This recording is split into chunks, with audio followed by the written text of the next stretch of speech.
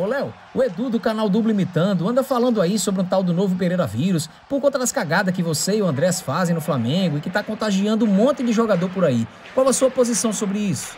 Não, que eu me lembro, eu não fiz muita merda não. Eu só fiz uma contra a Chapecoense, contra o Atlético Paranaense, o Fluminense, Aparecidense, o Campinense, Lençóis Maranhenses. Ah, que merda, isso eu não sabia não. É, eu queria pedir desculpa aí pros jogadores por ser o hospedeiro do vírus, né? E tá se espalhando muito rápido, é cagada atrás de cagada.